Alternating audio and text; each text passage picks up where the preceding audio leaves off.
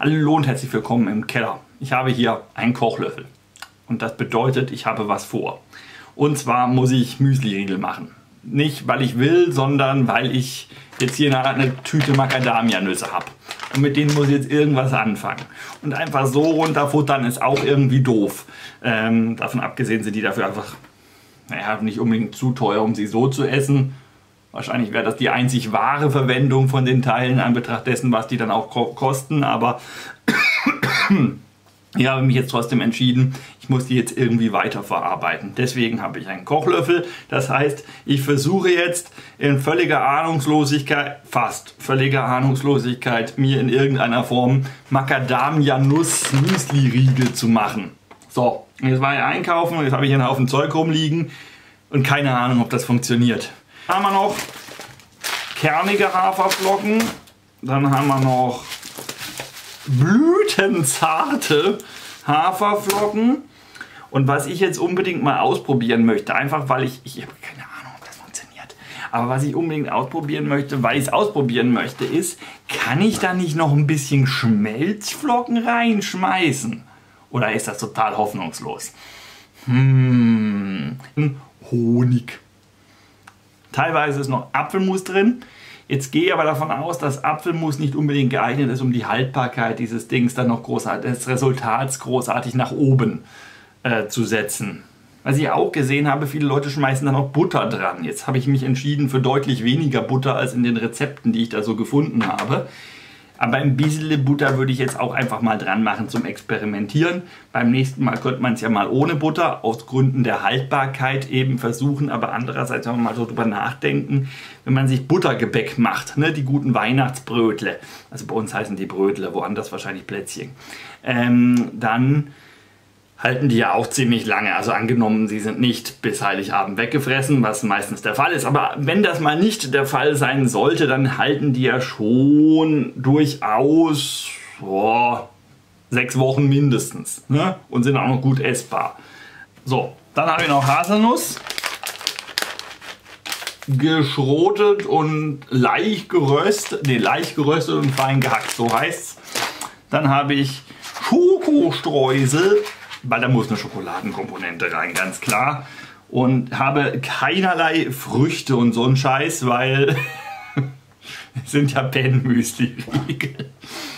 Gut, so und jetzt muss ich mixen und muss abwiegen. Ne?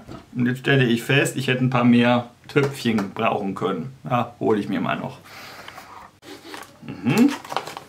Aha. Und dann machen wir jetzt einfach mal Menge X. Ja, nicht sehr wissenschaftlich. Menge X hier mal rein. Glaube, das ist ein bisschen wenig. Heieiei. Cool. Gut. Hat sich schon mal gelohnt. Ben hat was Neues. Ben hat was Neues. Ja, dann äh, Hau rein, das Zeug. Grundrezept, ich habe mir schon was rausgesucht. Das sagt 250 von der jeweiligen Sorte Haferflocken. Ähm, jetzt will ich aber nicht so viel machen. Dafür habe ich auch gar nicht genug Macadamia-Nüsse. Und deswegen mache ich jetzt hier mit Omas Küchenwaage einfach mal 100 Gramm pro, pro Ding. Scheiße, die wiegen ja überhaupt nichts.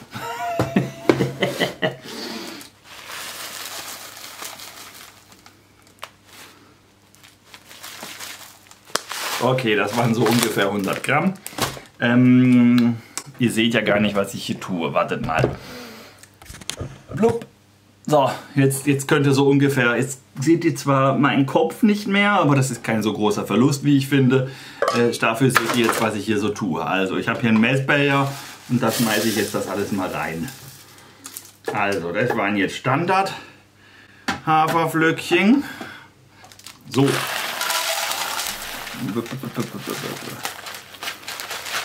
So. 100 Gramm von Denedor kommt jetzt oder nein. Gut. Ähm, was haben wir noch? Wir haben jetzt noch Haselnüsse. dann machen wir mal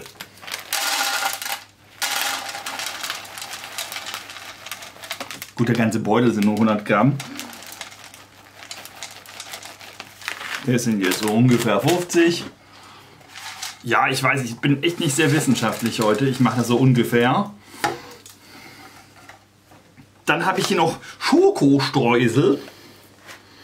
Äh, die sind ähm, erstens mal lecker und zweitens äh, sind die dafür gedacht, um das Ganze auch nochmal konsistenztechnisch ein bisschen mehr zusammenkleben zu lassen.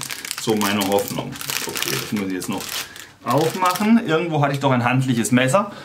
Äh. Nein.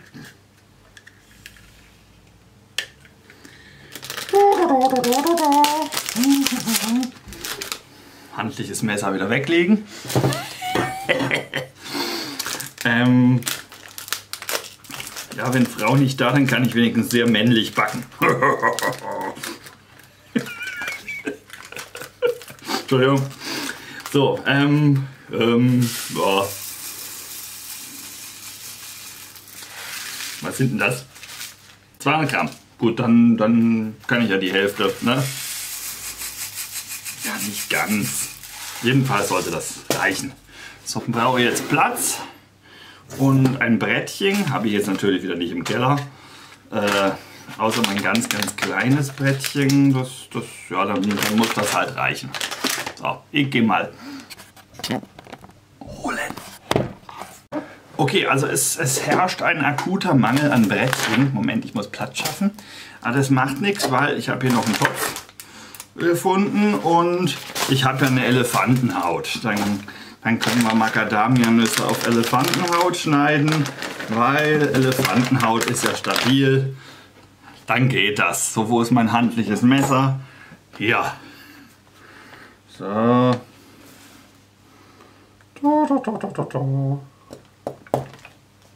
Nein, das ist nicht mein Ernst. also nicht so richtig. Also so ein Macadamia nur schneiden ist gar nicht so einfach. Ah! Insbesondere da das halt auf dem Ding zu sehr federt und dann fliegen die hier in der Gegend rum. Und ich glaube, ich muss mir wirklich ein Brettchen holen. Aber die Idee Nein, ist nicht gut. Gut, ähm, nach äh, circa drei Minuten Geschnippel habe ich beschlossen, ach was, das geht auch mit ganzen Nüssen. so, jetzt ähm, soll man, glaube ich, wenn ich das richtig verstanden habe, oh, da ist noch eine halbe, ähm, irgendwie hier Butter schmelzen. Ne? Also schmelzen wir Butter. Wo sind meine Streichhölzer? Da. Zack. Äh, Butter. Plumps. Ähm. Ja, und dazu kommt Honig. Wo ist er? Hier. Das ist jetzt nicht der beste. Da habe ich jetzt, ist auch nicht der allerbilligste, aber äh, normalerweise bei Honig bin ich ähm, wählerisch. Da nehme ich immer den guten regionalen deutschen Honig. Inzwischen übrigens mein Haferschleim hier. Also dessen Klebfähigkeiten überzeugen mich sehr, muss ich sagen. Mhm. Mhm. Dann bin ich guter Dinge, dass der in irgendeiner Form zur Gesamtklebrigkeit der Masse positiv beitragen wird. Vielleicht sollte ich doch einen Schuck Milch ranmachen. Das ist, glaube ich, etwas.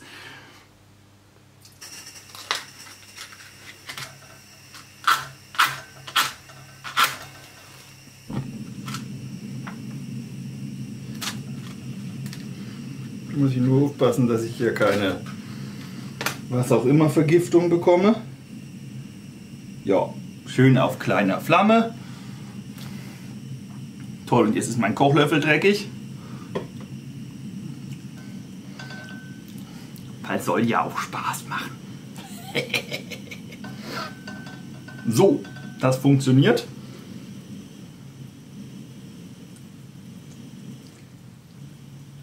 So, also noch weniger Pulver ist jetzt echt nicht möglich. Sonst muss ich es halt zwischendrin mal runternehmen. Butter schmilzt. Wir machen einfach mal Honig dazu. Äh, 52 Gramm Honig heißt im Hauptrezept. Ich habe jetzt ungefähr die Hälfte. Das heißt, ich muss hier ungefähr den halben Honig reinhauen. Oh Gott, das könnte eine Weile dauern. Der wird jetzt auch relativ, da bin ich jetzt selber positiv überrascht, vergleichsweise flüssig hier. Danger! Einblick in den Topf. So. Jetzt steht ihr ganz woanders plötzlich. Ich habe keine Ahnung, ob das eine gute Idee ist, aber ich mache da jetzt einen Schuss Milch dran. Weil es kann. Jetzt noch schaffen, nichts anzuzünden. Hui. Untersetzer brauche ich nicht. Tisch ist aus Holz. So. Ähm. Flupp. Ja, ihr seht nichts. Ach, verflixt. Äh, ja, ähm, das hier war ja noch als Klebrigkeitsverbesserer.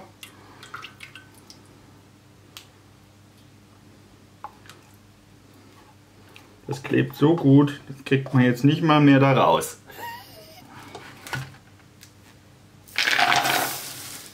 Hossa! Okay, der Topf ist ein bisschen klein. so. Was ist das? Eine Nudel? Oh, tatsächlich. Na, das kann passieren. Ups.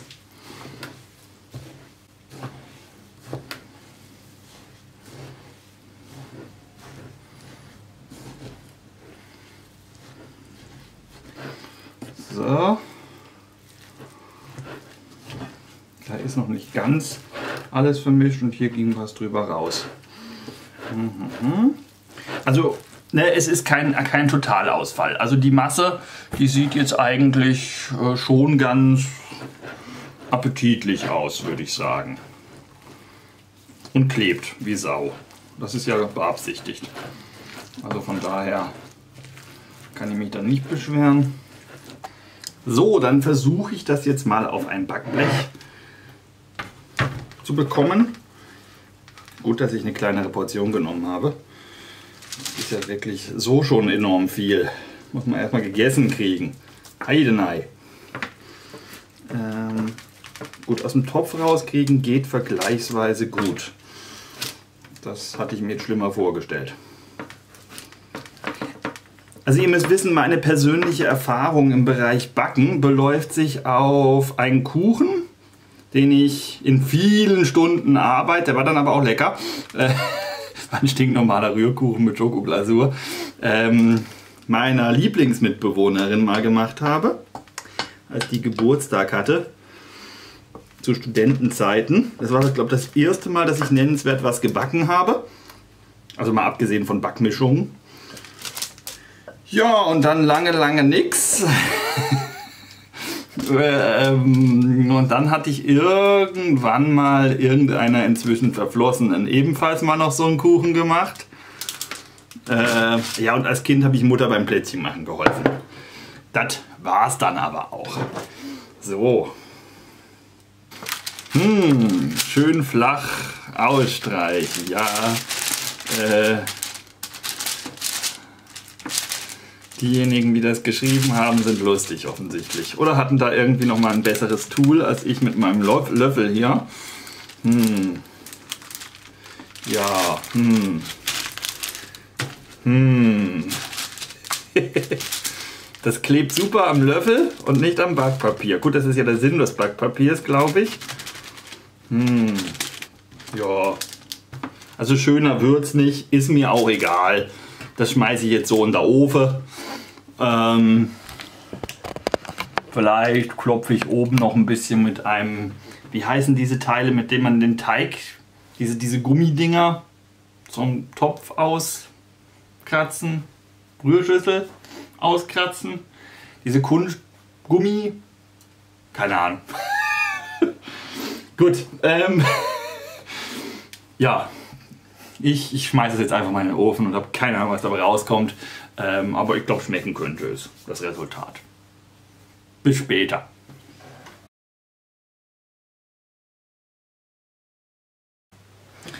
So, jetzt ganzes Weilchen später, macht ja nichts, bin fertig. Das Resultat sieht jetzt so aus. Ne? Also zum Beispiel kann man jetzt auf verschiedene Art und Weise schneiden. Das ist jetzt ein recht langer, den sollte man vielleicht nochmal in der Mitte durchschneiden. Man kann die natürlich auch noch ein bisschen breiter machen. Werft doch mal spaßeshalber einen Blick nach unten. Tada! Also das ist jetzt halt eben hier so meine, meine ersten Versuche, da was rauszuschneiden. Der hier ist ein bisschen sehr schmal, der hebt dann nicht. Und dadurch, dass ich da ganze Nüsse drin habe, ist das der Stabilität der Masse auch nicht unbedingt förderlich. Also das wäre schon schlau gewesen, wenn man da äh, das ein bisschen anders gemacht hätte. Ansonsten glaube ich, so Quadrate sind auch eine gute Idee. Ja? Also geschmacklich ist das durchaus lecker. Blub, blub, blub. Mhm.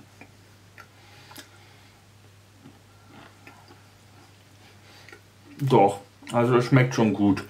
Mm, es gibt auch käuflich erwerbbare Riegel, die jetzt geschmacklich vielleicht auch noch einen Ticken besser sind. Die haben aber nicht ganz so viel Kalorien, habe ich zumindest den Eindruck. Also, durchaus eine echte Alternative zu den käuflichen Produkten. Haken, Haltbarkeit. Ne?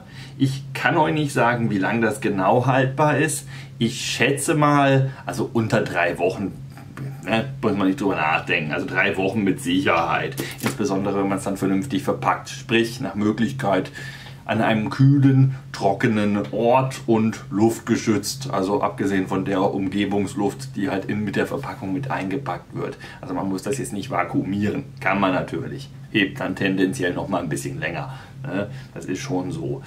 So, Thema vernünftig verpackt. Wie verpackt man jetzt sowas?